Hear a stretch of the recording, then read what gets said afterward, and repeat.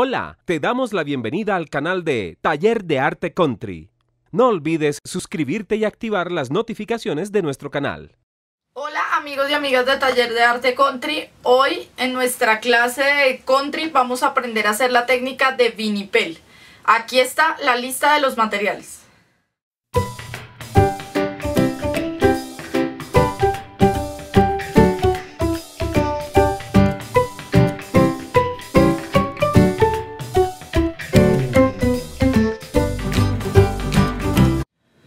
Para esta técnica yo utilicé el color azul violeta de la marca Franco. Lo primero que vamos a hacer es preparar la pintura. Para hacer la técnica de vinipel necesitamos utilizar la pintura, pero a esta pintura le vamos a aplicar un poquitico de extender directo o con agua. No voy a preparar mucho porque no puedo eh, no, no se me va a ir mucha pintura o no necesito demasiada pintura. Además que la pintura que me sobre no la voy a poder retornar nuevamente al envase. Entonces le voy a aplicar un poquitico de extender. Yo aquí ya lo tenía preparado. Si ustedes no lo tienen, eh, pueden conseguirlo en las tiendas como extender o como retardador.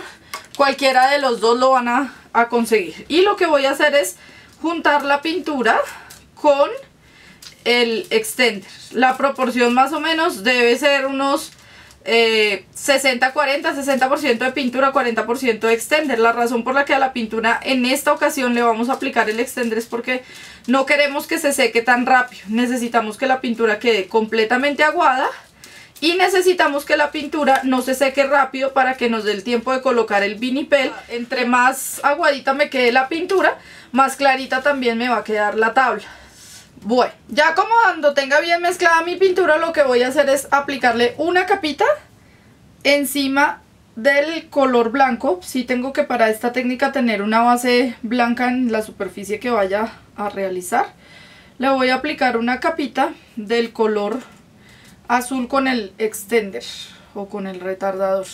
Si se dan cuenta, pues esta capita obviamente no me va a emparejar porque está muy aguada pero lo que va a hacer es que al momento que le coloque el vinipel me va a formar eh, diferentes texturas. Lo primero, lo que voy a hacer es cortar un pedacito de vinipel y lo voy a colocar simplemente medio puestecito ahí encima y lo que voy a hacer es empezar a hacer arruguitas con el mismo vinipel.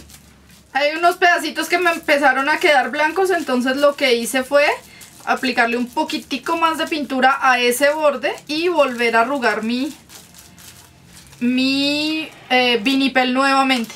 Lo que queremos es que las arruguitas del vinipel nos formen como unas grietas diferentes dentro de la madera y eso nos va a hacer que nos quede una textura diferente.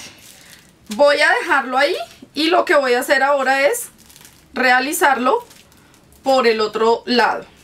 Recuerden que esta pintura no se puede retornar al envase. La pintura acá, la que le aplicamos el extender, no se puede retornar al envase porque vamos a dañar la pintura buena que tenemos en el, en el tarro. Así que no vayan a retornar por nada del mundo la pintura con extender al, eh, al envase. Aquí les... lo interesante de esta técnica es que como utilizamos eh, el vinipel y como la pintura no queda completamente pareja, entonces van a dar cuenta que cuando lo destapemos, él va a tener em, unos lados más claros, unos lados más oscuros y eso nos va a dar una textura bien diferente. Si ustedes no lo quieren levantar de una vez, pueden dejarlo que se seque por completo. Lo dejan un día y hasta el otro día lo levantan. No le va a pasar nada porque el vinipel no se va a pegar, sino simplemente va a ser... Eh, se va a adherir, pero luego se va a despegar fácil y no tiene ningún problema. O lo pueden despegar fresco como yo lo voy a hacer. Les aconsejo para las personas que de pronto nunca han hecho esta técnica que lo dejen secar 24 horas y al otro día levanten el vinipel, no pasa nada, la técnica queda igual.